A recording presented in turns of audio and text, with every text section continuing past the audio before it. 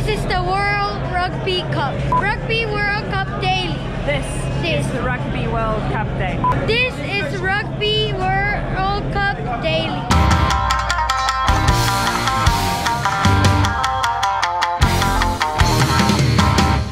I'm back at the Hoshinoya Tokyo and today I am making use of a transport service which harks back to a bygone era here in Japan. I think this is quite a stylish way of seeing downtown Tokyo. It's a different way of seeing the city because you're sitting a little higher. Speaking of different perspectives, Ireland might not have made it past a quarter final, but Brian O'Driscoll offered a really nice independent perspective on what to look forward to since we have a bronze final and a Rugby World Cup final in store this weekend. What has been your initial impression of Japan? What's the best thing you've seen so far? The best thing I've seen. I got to go to the Pokemon Megastore. Wait, we need to get the buildings. There we go. But yeah, no, that's obviously not my highlight. I've been I've been to some temples and we sort of saw Mount Fuji Sorta. on a on a boat, eaten in some incredible restaurants. Um, we've been living off a solid staple of exceptional rice, great fish, and plenty of rugby. England and South Africa in the final. But let's talk about that bronze playoff. As a captain, how do you motivate your team ahead of a match like that? that is tricky. That's Woo! where you would hope that World Rugby come in and give a nil-all draw like they did earlier on, like two points each. Yeah, that is such a tough gig for not just for a captain, you know, for individuals to to get motivated. Have you noticed? Oh, those. I think those are persimmons. What do you call those? I've been seeing them everywhere. They're like loads of really big fruit. New Zealand, Wales, though. I mean, after that incredibly torturous semi-final, I mean, Yes. Wales must just be dreading the fact that they have to play another game. You, you would expect the peripheral players to get a chance to play. Uh, I would anticipate that Warren Gatland will, will definitely change some weary bodies. England, South Africa. The way England played against New Zealand, I'm pretty sure would intimidate most teams. It was one of the most comprehensive performances I think I've ever seen. Yeah, I kind of feel like they could have beaten anyone on that night. No one, no one was going to live with them. But also, they had a game plan for New Zealand that they absolutely mastered, particularly defensively. They just scared New Zealand into doing things they didn't want to do. Mm. I just think it sowed that seed of doubt that was constantly rein reinforced by England. Based on what you saw from South Africa, I feel like you're backing England for this. Well, the thing is, I, I, I think England have the potential to get close to parity, at least in the pack, and give themselves a better platform to have a go at getting the edges against South Africa. So if England play 85% of the standard they did at the weekend, I think they'll be they'll be champions. Score predictions. I I think the All Blacks is going to be 20 Point margin. point margin. Yeah, cool. South Africa and England in the final. I think I'm going to go with England because they've shown the way of what they're capable of. So I'm going to go with a 16 16-9 victory for um, for England. All of you in Ireland, he called England. I'm just saying he didn't back the other green team. It's good for world order. It's good for world order. Just tell yourself that. Rahul Bose played rugby for India in their first international in 1998.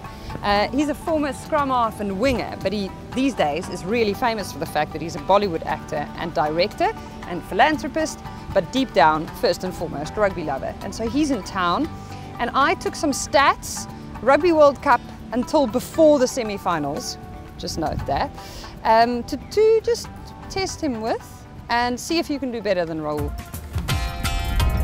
Rahul Bose. I'm dreading this. Three players have scored five tries at this tournament. Pick the one who didn't. Josh Adams, Makazole Mapimpi, or Jonny May. Hmm, Jonny May. Well done.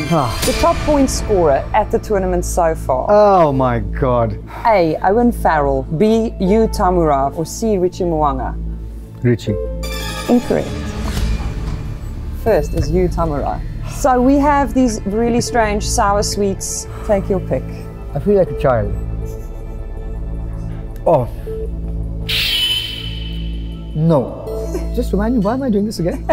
Which country has scored the highest number of points and tries? A. New Zealand, B. South Africa, or C. England?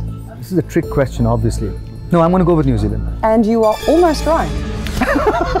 What is almost right out of three? It's like you're dead wrong. They were second. South Africa, though. Well, that's the worst of the lot. This tastes like um, very fine, old, cured leather. oh, God. I can't do this. Wow. Wow. Two teams have won the highest number of turnovers. Which one of the following three did not?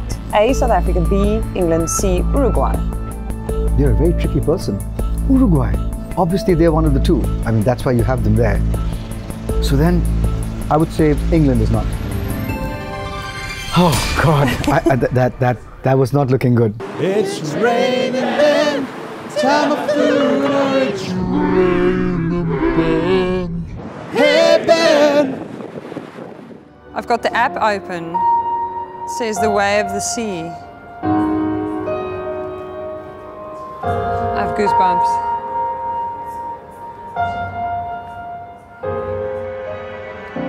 It does feel like I'm in the imagination of an artist. It's like art, but fully immersive.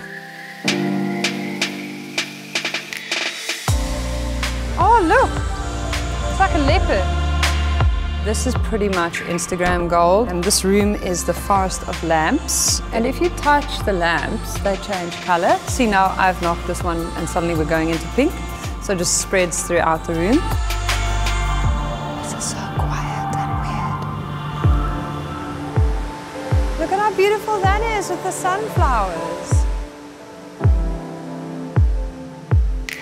And the waterfall. Stand here, apparently the flowers grow from you. It's a bit like a spa. Only no one is actually touching me.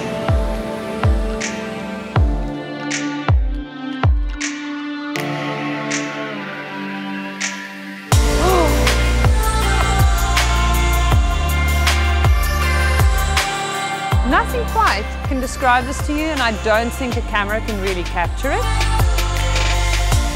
It's the modern Tokyo you think you're going to see when you come here.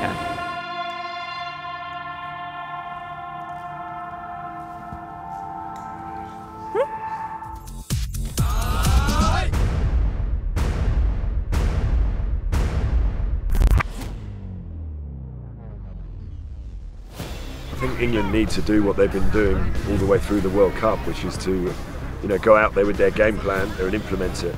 South Africa will need to score a few tries to beat this England team because they're capable of keeping that scoreboard ticking over. South Africa definitely need to improve on the accuracy in execution. We've seen some big physical forward battles and we've seen Handré Pollard be extremely accurate off the tee. They're going to need to use each and every opportunity that comes their way. I think the key players for South Africa are Pollard, uh, the fly half, I think Faf de Klerk, the scrum half, and probably uh, Etzebeth, the second row. For me, the key players in this England side, Owen Farrell, the way he leads the side is, is incredible. And the loose forward trio of you know, Underhill, Curry and Vunipola have just been absolutely incredible. I think England will win the Rugby World Cup 2019 final. My heart will definitely be saying South Africa with a little bit of nerves given how commanding England's performance was against New Zealand in the semi-final.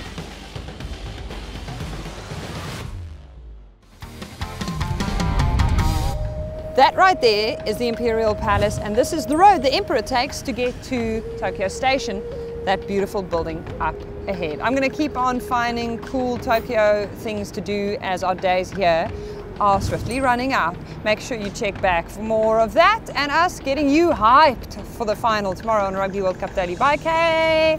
Bye. Bye. See you in Tokyo.